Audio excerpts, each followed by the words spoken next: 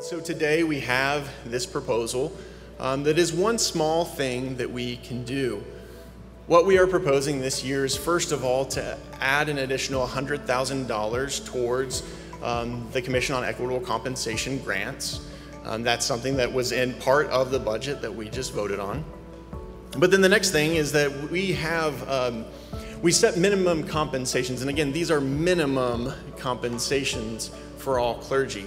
This year, what we're suggesting is um, we're not raising that, that bottom number. I know that some would like to see that raise as well, but what we are doing is we're adding longevity increases. What these longevity increases are, um, and those numbers that you see there are just for the full elders, but if you turn to page 41 um, in your materials, you can see the, the full breakdown. Those top numbers are the numbers that we'll be voting on today. Those bottom numbers are the numbers that we would like to see us vote on next year, but we only do this one year at a time, and we need to see what happens with this year. And so, what this means is that for each year of service, we're giving a pay raise of about 0.75%.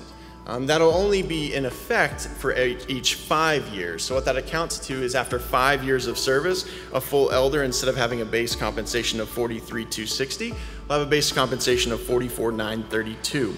That will then go up at 10 years to 46,733. After 15 years, 48,673.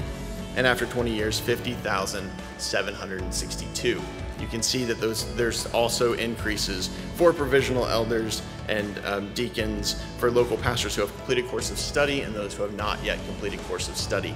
Um, but I'm not going to read all of those numbers to you since you have them there before you. Um, so what this will do is it will close the gap somewhat